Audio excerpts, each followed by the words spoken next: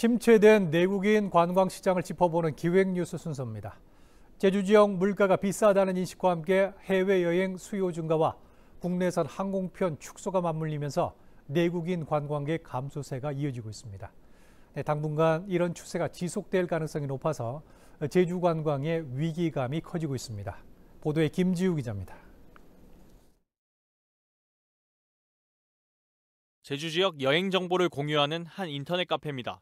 올여름 성수기를 앞두고 물가가 비싸다는 게시글이 올라오자 이를 공감하는 댓글이 수십여 개 달렸습니다. 특히 비싼 식비를 꼬집는 내용이 대부분을 차지했습니다. 이처럼 제주 여행의 만족도를 낮추는 요인 가운데 첫 손에 꼽히는 건 비싼 물가입니다. 제주 여행 불만족 이유로 고물가를 꼽은 관광객은 지난 2014년 29%에서 지난해 53%로 8년 사이 2배 가까이 늘었습니다. 제가 체감하기에는 식당 같은 데는 그 비싼 데는 관광지 특히나 관광지에서 그 일반 그 밥 한 끼 먹으려고도 뭐 다 조금 이와 함께 관광객들은 대중교통과 쇼핑 인프라 부족 등에 대해서도 아쉬움을 나타냈습니다. 대중교통이 많이 어, 안 되어 있는 것 같아요. 그래서 혼자 하는 여행이라든가 젊은 청년들한테는 조금 어려운 여행이 될 수도 있다라는 그런 생각은 좀 들었어요.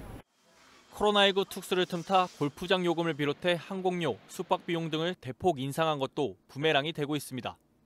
국제선 재개 이후 해외 여행지와 비교해 제주가 이렇다 할 가격 경쟁력을 보여주지 못해 관광객들이 해외로 발길을 돌리고 있다는 분석입니다. 실제 9개 여행지 가운데 제주의 가장 큰 경쟁 상대인 일본의 경우 해외여행 보복 심리와 역대급 엔저 현상이 맞물리면서 한국인 관광객이 몰리고 있습니다. 상황이 이렇다 보니 항공사들은 수익성이 높은 국제선 확대에 나섰고 올 상반기 제주 기점 국내선 공급석은 전년 동기 대비 7% 줄었습니다.